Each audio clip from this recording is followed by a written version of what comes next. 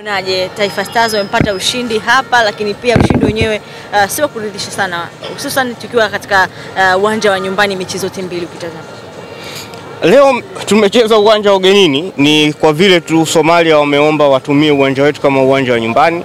Tumepata ushindi kwenye mechi ya kwanza na tunaamini kabisa wachezaji na benchi la ufundi wakiweka nguvu na kujipanga vizuri kwenye mechi inayofuata tutapata ushindi. Mwenyekiti, uh, tuhame sasa hapa, hebu tuambie kidogo nini kinaendelea kwenye kambi yenu?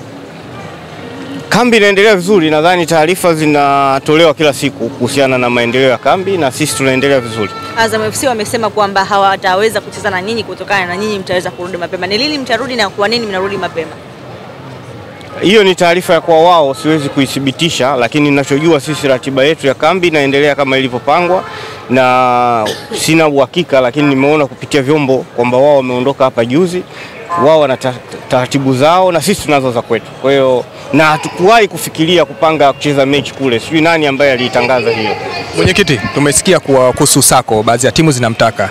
Je, nyinyi mmekaa mmeamua vipi? Mnaweza mkamuuza au bado ataendelea kubaki Msimbazi? Hilo ni jambo ambalo tunategemea litakuja officially. Ni kweli mchezaji yoyote aliyokuwepo ndani ya Simba anatakiwa na timu nyingi, sio yeye peke yake, wachezaji wengi ambao wanatakiwa, lakini taratibu zipo. Tetesi za Louis Mixon kurejea kunako Msimbazi ni za kweli, na uh, dirisha hili huenda linaenda mwishoni kabisa, mtamrudisha lini? Tetesi hizo zimetoka wapi? Na taarifa kwamba huenda mkamuuza Sako mkamleta Miquissone. Hiyo mi sina taarifa, e, labda itakuwa ni ya kwako wewe na siwezi kuithibitisha, na utaratibu wangu mimi siwezi kuhangaika na tetesi. Tetesi ziko nyingi na tunaziacha ziendelee kuwa tetesi. Mwenyekiti, bado mnaendelea kutangaza wachezaji wengine ambao mmewasajili? Tumeona Misri pia mlikuwa mkifanya hivyo. Inaendelea, mambo yanaendelea. Huyu Manzoki ni kweli anasainiwa na wekundu wa Msimbazi? Tutatoa taarifa rasmi. Uh, watu wa hofu mashabiki wa Simba, kuna taarifa uh, kuwa Sako amebadilishana uh, uh, dili lake na beki mpya ambaye ameingia sasa hivi. Hivyo ni vitu ambavyo havina mahusiano kabisa, hatuna mahusiano kabisa katika, yani hatuwezi kufanya usajili katika barter trade. Usajili unafanyika mnapomhitaji mchezaji, mnatoa taarifa kwa timu yake, mnajadiliana, mkiafikiana, mnabadilisha, mnatoa mchezaji, lakini haiwezekani ikawa tunafanya barter trade. Hiyo biashara iliyofanyika tangu enzi ya ukoloni. Msimu huu licha ya kukosa makombe, mmekwenda mchezaji wenu Sako amepata goli bora Afrika na CEO Babra alikuwepo pale, lakini pia rais wa TFF alikuwepo pale. Labda hii ni uh, heshima gani kwa Simba? Ni heshima kwenu, lakini pia kwa Tanzania, nyinyi mmepokeaje?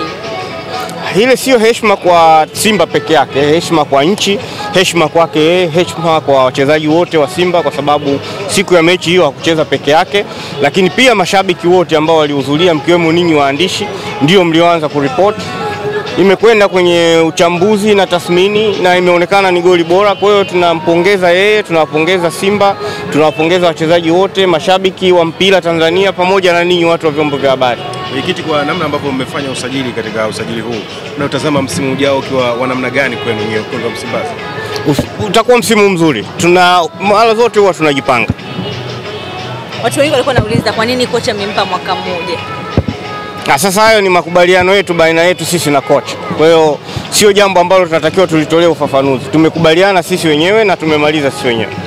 Shukrani. Asante sana.